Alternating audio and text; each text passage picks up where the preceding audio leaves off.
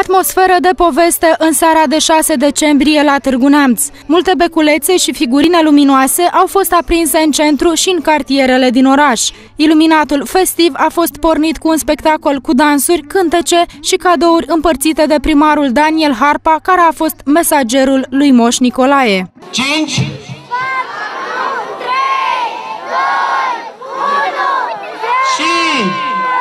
bravo! Așa cum uh, ne-am obișnuit în fiecare an, uh, în ziua de Moș Neculai, în ziua de Sfântul Neculai, am încercat și sper că am reușit, timp de 2 ani de zile, al doilea an de fapt, să aducem o bucurie în sufletul copiilor din Târgu Neamț.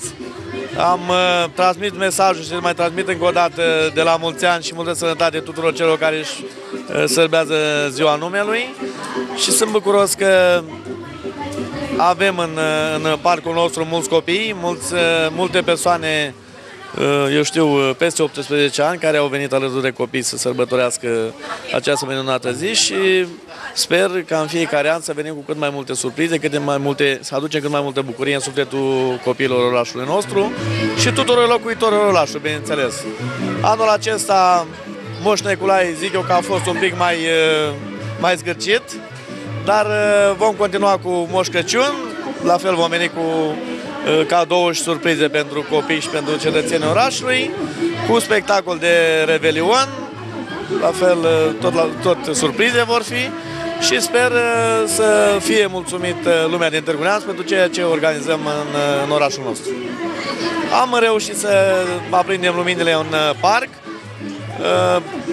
cei care au organizat, care au organizat în oraș Deschiderea luminilor au început de aseară, n-au mai avut răbdare și am dat drumul de aseară la luminile în oraș, dar în seara, în seara aceasta avem deschis și deschise, uh, deschis iluminatul și în parcurile noastre și în, uh, în centrul orașului, urmând ca de luni să continuăm cu uh, Humuleștiu, Blebea și periferiile orașului, ca toată lumea din oraș să se bucure de sărbătorile uh, de Crăciun și de Anul Nou. Moșul la mine a venit, uitați câtă lume e aici în jur, e cel mai frumos dar care poate fi de Moș Nicolae.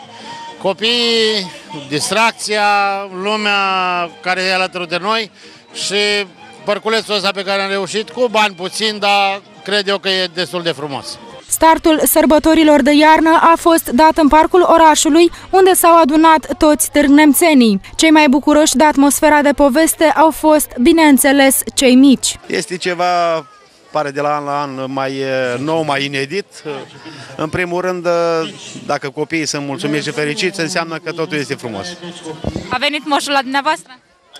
Da, cu nuielușă. E cel mai frumos din toți anii de până acum. Angajații de la administrația domeniului public, serviciul din cadrul primăriei Târgu Neamț, au început pregătirea orașului de sărbătoare încă de la jumătatea lunii noiembrie. Atunci au început să fie montate instalațiile de iluminat parterele principale ale orașului. Mii de beculețe au fost întinse pe mai multe străzi, astfel au dat startul sărbătorilor de iarnă.